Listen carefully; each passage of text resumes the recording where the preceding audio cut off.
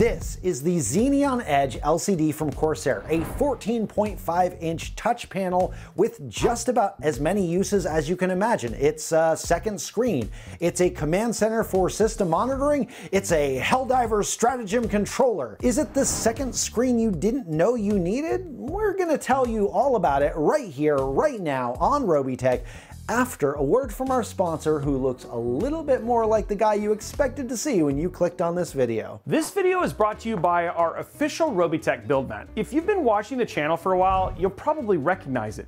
We love these things. They're super thick and durable, and they're absolutely huge in size, measuring at 5.5 millimeters thick and 24 by 48 inches wide. This one that we have right here, man, this has been in the studio for like four years, and it's still holding up great, no problem. We've also included all sorts of useful graphics showing different PC form factor sizes, including schematic diagrams and connectors you'll encounter probably during your PC build. Not to mention, there's plenty of open space for screw and tool organization. We designed it like this so no matter what skill level of builder you are, it could be a helpful tool for pretty much everyone. Now, you can find these build mats for sale on our Newegg store, and it's a great way to support us directly if you enjoy the content we make. Thank you so much for your support, and let's get back to the video. Hey everyone, Damien here, filling in for Robey. He's currently riding a moose across the frozen tundra somewhere in the wilderness, so you get this mug in front of the camera for this one. Back at CES 2025, Corsair announced this thing, the Xeneon Edge LCD, and at the time I remember thinking, I do not need one of these things. I mean, who really needs an LCD touch panel with widget-based controls that can be mounted inside your PC case onto a threaded boom arm or just about any magnetic surface? I mean, need is such a it's a word. And it's true, I don't really need one of these, but after spending some time with it, I, I kind of want one. I caught a vision for what Corsair was going for, and I see where it could be beneficial outside of the cool factor. So in this video, it's gonna be far less of a comprehensive review and more of a show and tell.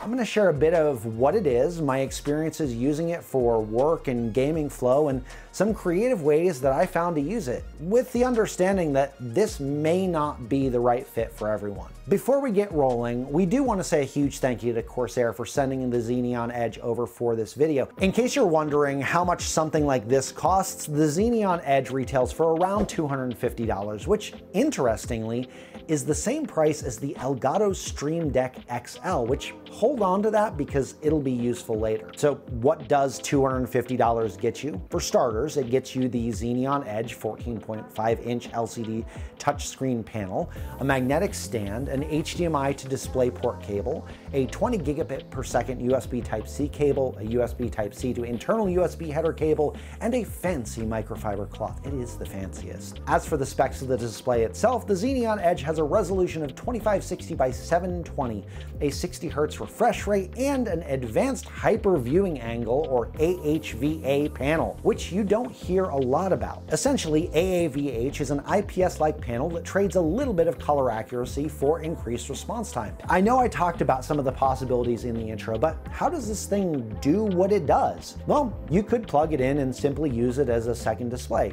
just like you would in a regular monitor. But you'll need Corsair's iCUE software to really start unlocking the possibilities. Inside iCUE, there are some preset widgets for things like system monitoring, media, and volume control, or you could do what I did and add the bestest and most handsomest of boys ever onto the screen. And no, you can't have him, but he does get bribed easily with belly rubs. Corsair has said that they'll be adding more widgets every month after release, but if there's a widget that doesn't exist in the current roster, there is an iframe code widget that allows users to program their own. For example, you could add weather tracking, a stock ticker, or even integrate SimHub into your Xeneon Edge not bad. But what really got us far more excited the more that we used the Xeneon Edge was that there are layers to how you can actually use this thing, especially considering that this also works as a virtual stream deck. So there's all sorts of different options that you have with how you use the Xeneon Edge. The same is true when it comes to where you can actually mount this thing. It really is just limited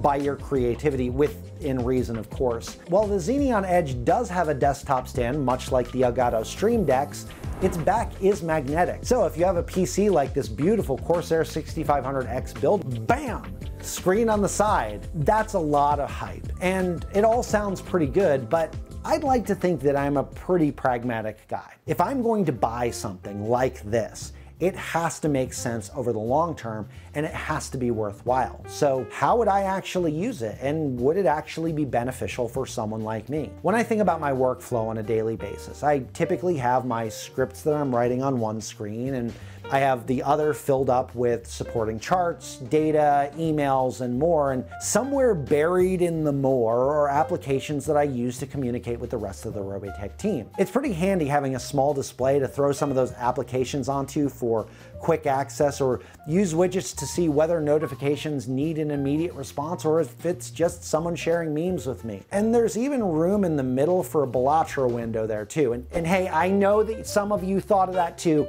and yes, it does work, and I can't say what it did to my productivity, but it works. So I know everybody's workflow is gonna look a little bit different, but uh, as I was looking at how this translates into the things that I do and the things that I love with streaming and gaming and writing, it was really neat to see the integration of the virtual Stream Deck into the Xeneon Edge. And as I was playing around with it, uh, one of the things, of course, that my brain went to was integrating the stratagem buttons for Helldivers 2, which is super lazy to do, but it's a legitimate strategy because democracy is not going to manage itself. But if I were using a Stream Deck controls as intended, being able to have the controls over OBS alongside of Twitch chat widgets is just a game changer. I mean, I really like this and maybe one or two of you have this same issue as I do. Because of how my desk is laid out, I have two monitors side by side, but I have my camera on an angle to provide the best shot of the room and because it's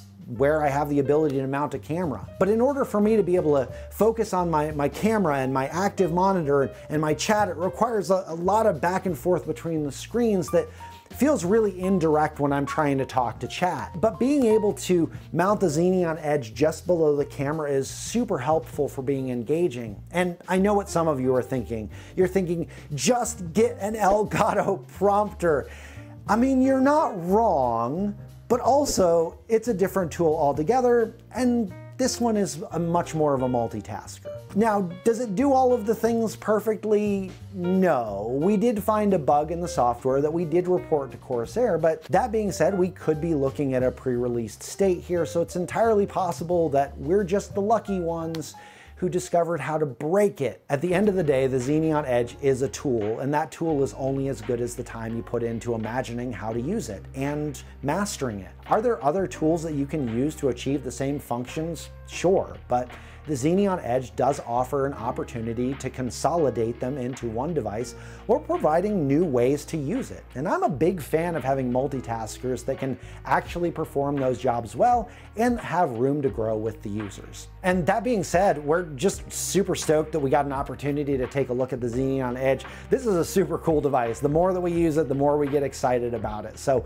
we want to say a huge thank you to Corsair for sending over the Xeneon Edge for us to take a look at, but we want to know what you think. After watching this video, do you need a Xeneon Edge? How would you use it? And if you could program the perfect widget for it, what would it be?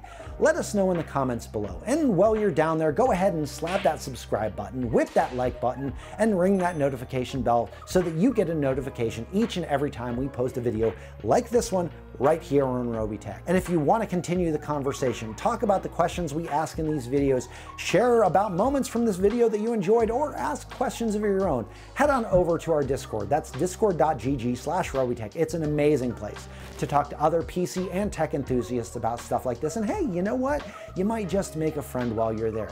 Also, make sure that you follow us on Robeytech at all of your favorite social media platforms. And if you made it this far into the video, I want to say a huge thank you for sticking around with me through this one. And I look forward to seeing you on the next one.